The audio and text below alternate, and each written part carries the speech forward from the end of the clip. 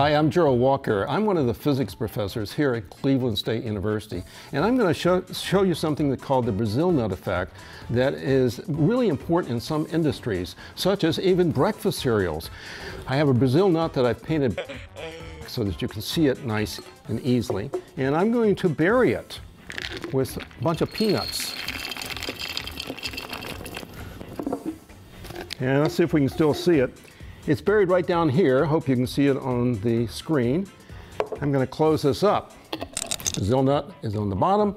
I'm going to make it climb to the top.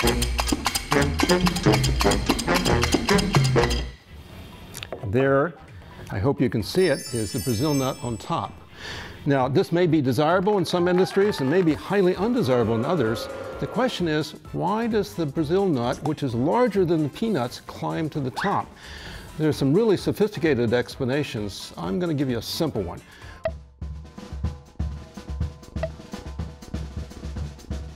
When everything goes airborne and starts to fall back down, the smaller peanuts happen to roll underneath the Brazil nut, making the Brazil nut slightly higher. Over and over again, the Brazil nut gets higher and higher until it reaches the surface.